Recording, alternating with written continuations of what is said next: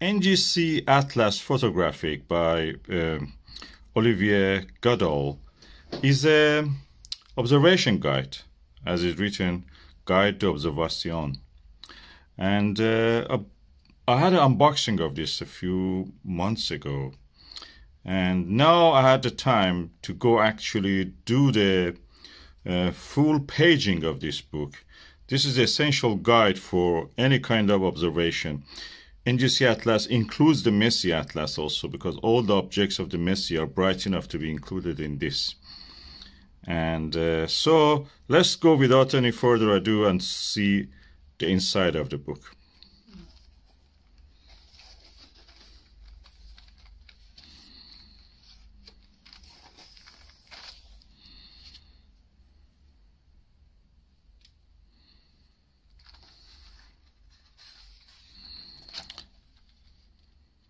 This part, which is a very simple French, we can understand in English also, is available in English translation uh, through a PDF. The author sends it to you when you purchase this book.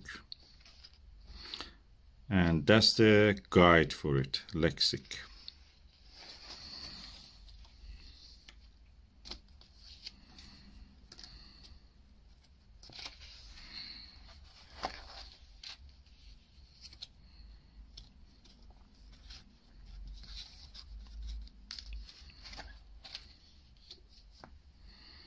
Me see if I can take this camera slightly closer so we can see better.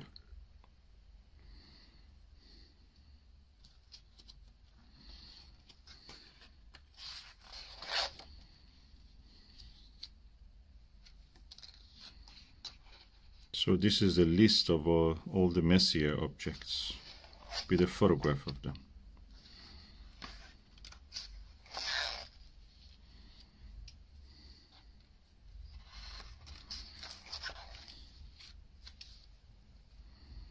So this is the autumn, as you know.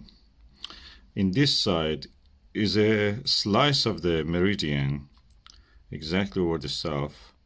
And you see the NGC and Messier objects on this. So this is the autumnal sky, and you can see a slice of the Andromeda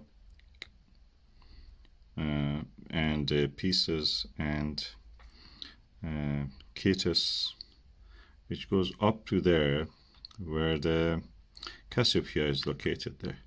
The list of the objects are here and uh, NGC number, the type, magnitude, uh, constellation, right ascension, declination, filter, if you need a filter, that's a very important information, very nice, and a brief information.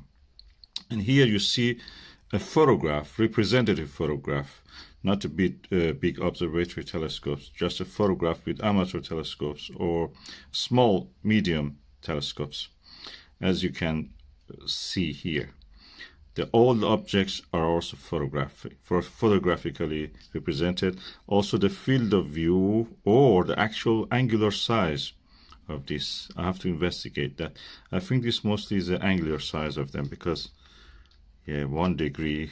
Yeah, that's the one degree. That's the uh, angular size, I think, of the field of view. Because Andromeda is more than one degree, definitely. is at least three, four degrees I've seen around that size. Anyway, let's go for the next slice. Again, we are in the autumn.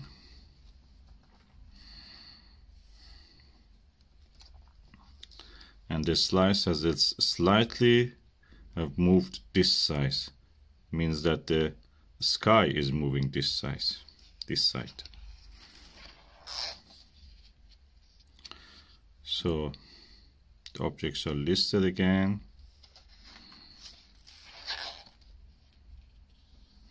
this is good for if you want to uh, make a list for uh, observing the constellations and the deep sky objects. For every night, you can actually use this.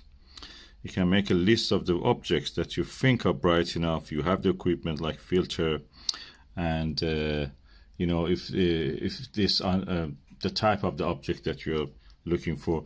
There is a legend here which actually explains all the symbols used in this. Now we are gradually moving toward the triangulum mm, and piece uh, Aries and the central Cetus.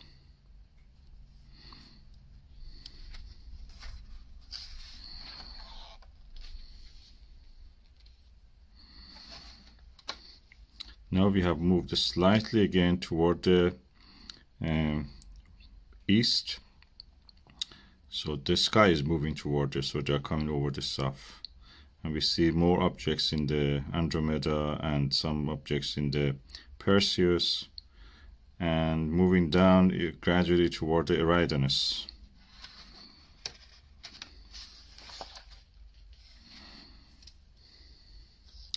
Now we are moving toward the head of the Cetus.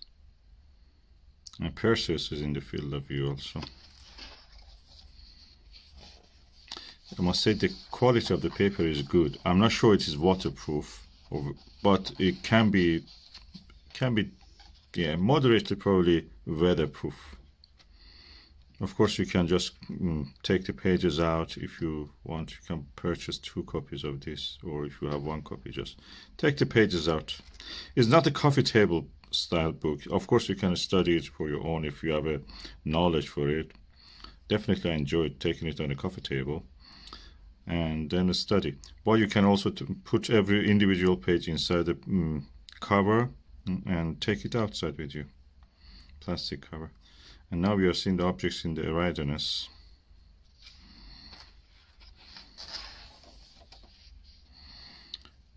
As you can see, we are moving in the Eridanus area. You see Pleiades in Taurus are now visible, Perseus. They are over the meridian, I should say, actually. And we are moving gradually toward the uh, Auriga, also covering Auriga.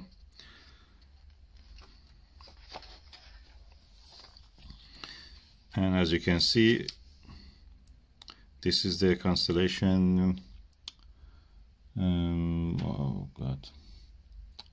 It's a hare anyway hare. What what I forgot the Latin name for it. Lep leopard leopard no lepus probably I forgot anyway don't contact me there's a columba behind it also under it here on the horizon uh,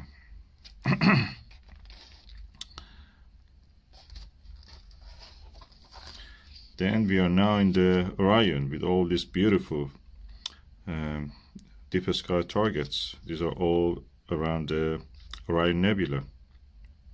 Beauty. That looks like a face of a joker. That's one. NGC 1909.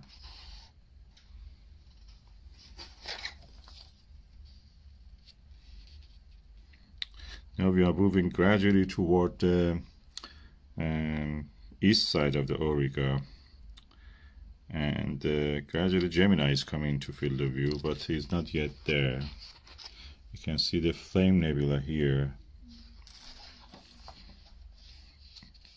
Now we have moved to the Monoceros. This is the Rosetta Nebula, or Rosette Nebula. It's a star cluster which is visible, nothing much, you know, just a few stars like a, a parallelogram or something like that. But uh, in long exposure photos or under right conditions with the right filter, you can see actually the yeah oxygen 3 filter or ultra high contrast filter will show you the some of the nebulosity. In long exposure photos you can see it the full extent of it, which looks beautifully, truly like a rose.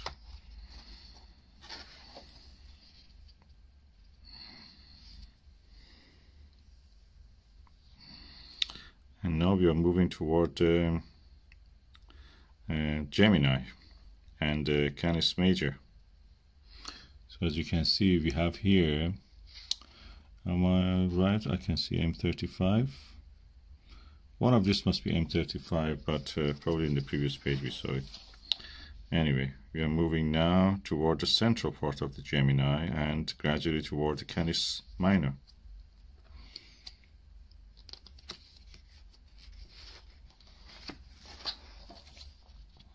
Now we are moving moving toward the head of the Gemini.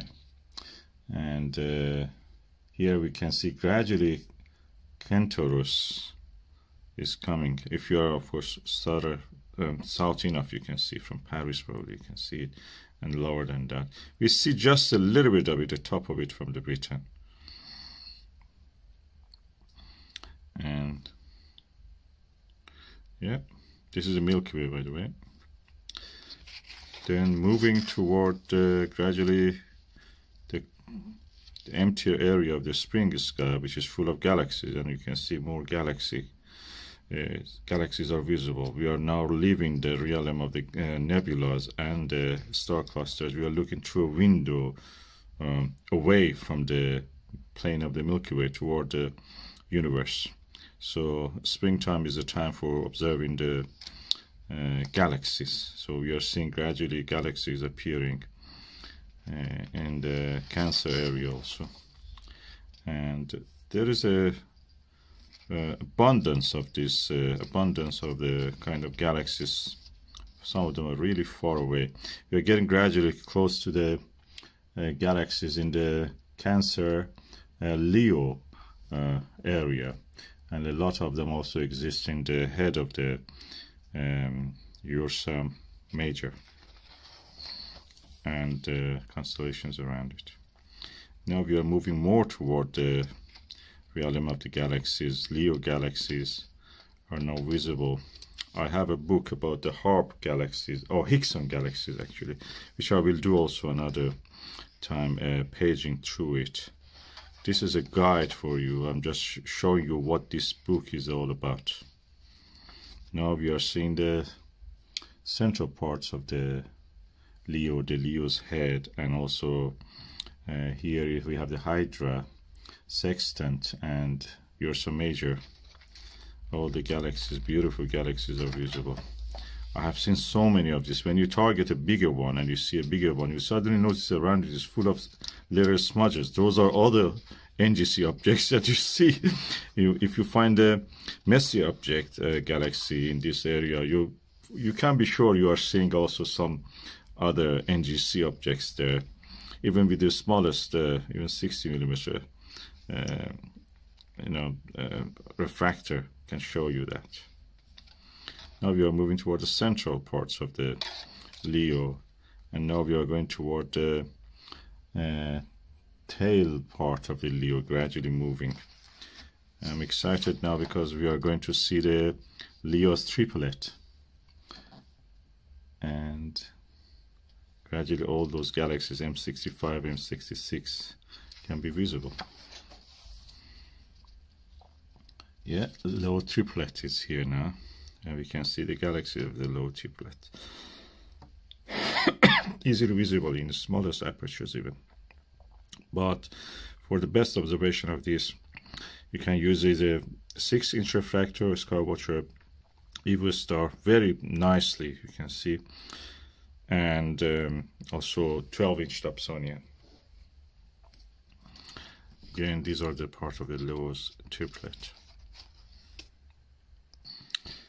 Now we are moving toward the tail of the Leo and gradually seeing the objects in the um, deeper space, including the objects that are in the Virgo constellation and the Coma Berenice or Bernice and the tail of the Big Dipper and uh, the handle of the Big Dipper and the crow, or Corvus that's uh, very interesting. We are now moving. Oh, that's a crater. Sorry, crater. Cup. And the Corvus is there. So, deeper and deeper looking in the cosmos. And now we are in the area of the Virgo. Virgo galaxies are numerous, including the most beautiful called Markarian chain. And Markarian chain is somewhere here in the middle of the cup of the Virgo.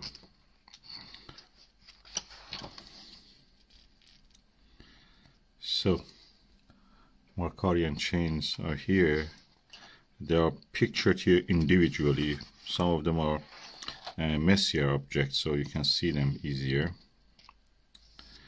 And now we have uh, to look for the black eye galaxy. M106 also and M99 oh many of them are actually having the NGC numbers.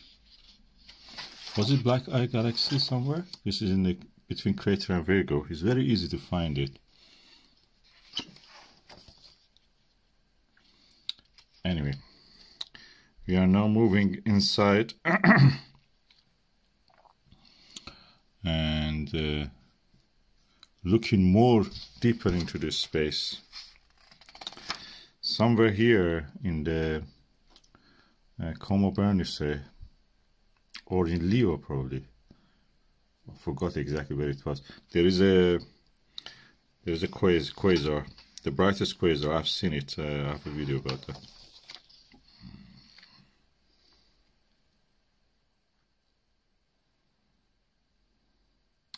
Yes.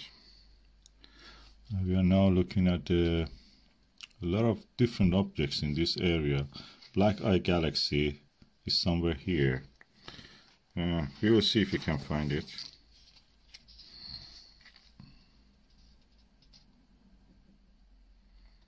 Very interesting objects, full of galaxies. Yeah, M104, that's this one. Oh, Sombrero Galaxy, sorry. Black Eye Galaxy is in the Coma Berenice here. That's a Sombrero. Very beautiful, easy to see. Right, quite actually. And we are now moving toward uh, uh, Virgo, leaving the Virgo cluster gradually and looking at the Coma Berenice cluster. But that's not yet the end. Because we will be seeing the objects which are in the Springer sky uh, completely away from the plane of the Milky Way. So fascinating number of the objects to to add to your observation list. And yet you can even see some star clusters or NGC 5053. What is it? 5053. Oh, globular cluster. That's very odd in that place, but anyway, here you have it. Oh, M51, a showcase. That's in the Canes Venatici. And we are seeing uh, lovely objects like the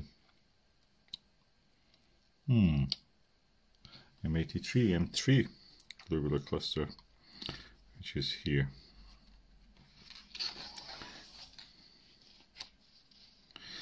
And we are now getting near the um, Bootes.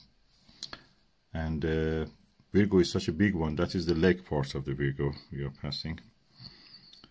And uh, looking at those beautiful interacting galaxies, several pairs here. Yeah. Trio of the NGC 5376 to 79. That is amazing.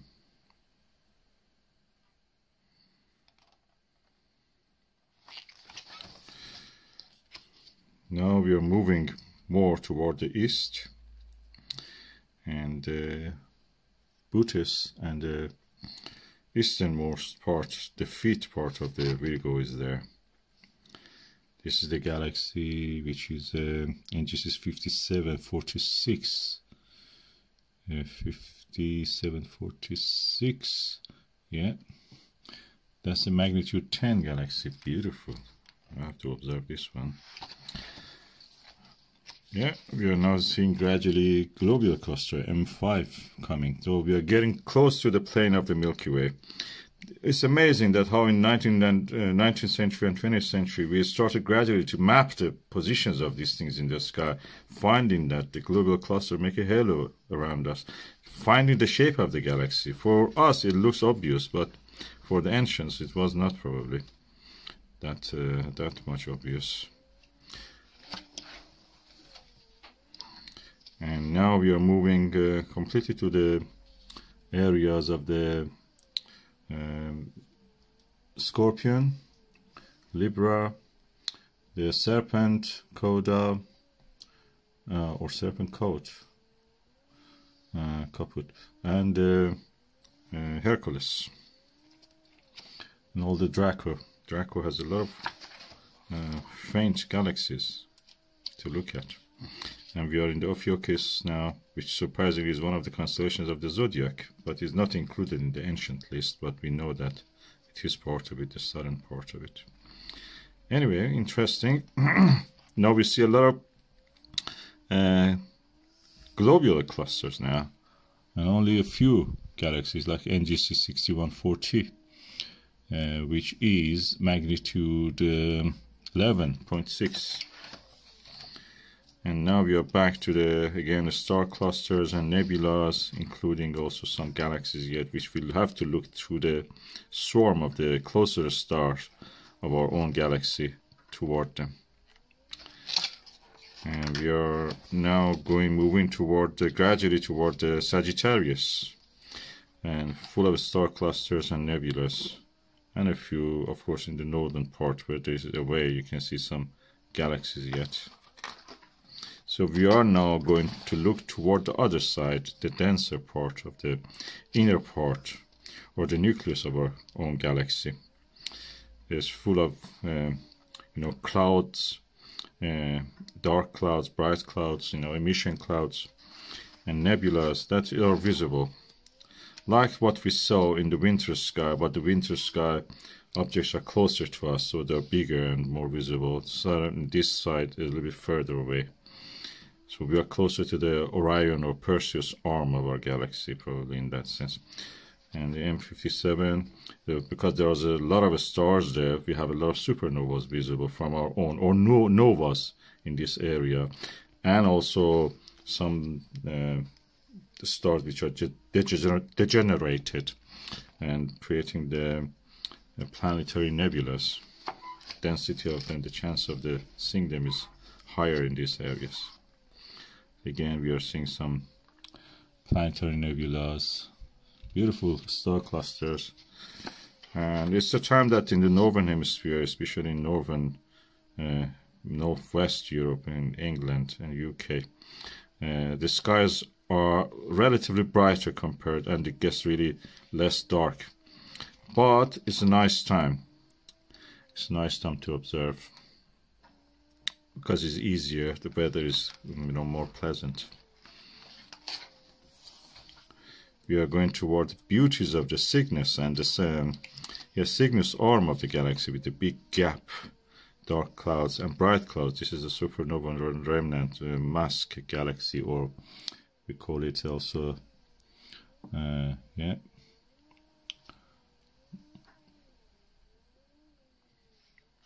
um, you know, uh, these are NGC 6992 anyway. And that's called the Venus Belt.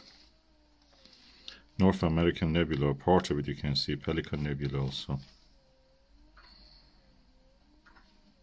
Whale Galaxy, yeah, I've, I told the French name, yeah, Whale Galaxy is the English name of it. Of course, Whale again is is Latin French, probably. And uh, yeah, that's part of the North North American nebulous, NGC 7000.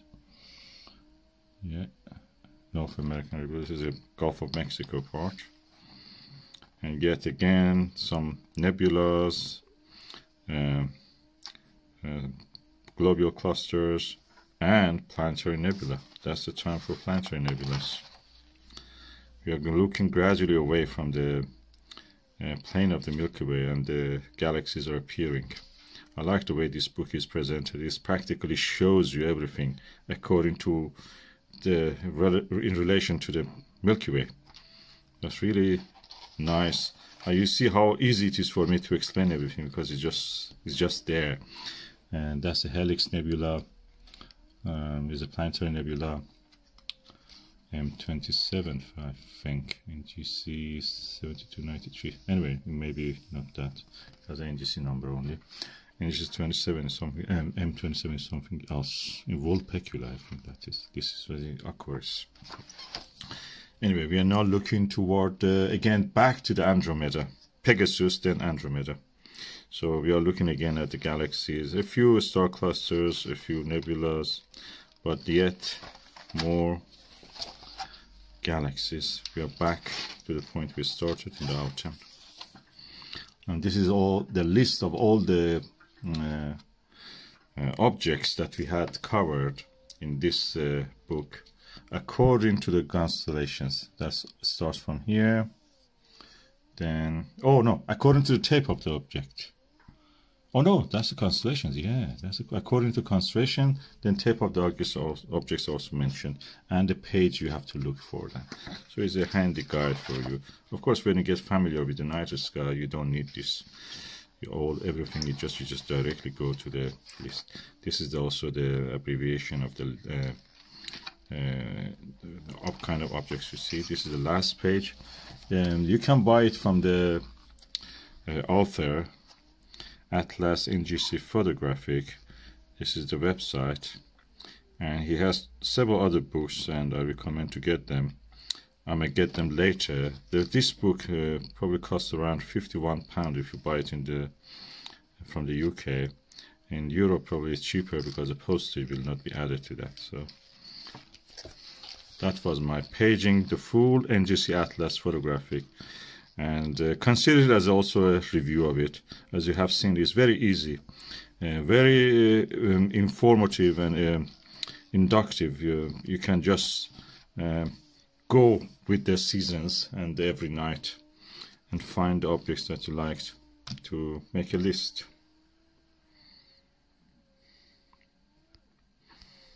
I have to ask Susan that was uh, patient enough actually to let me you know use her beautiful table for doing this review. Thank you Susan.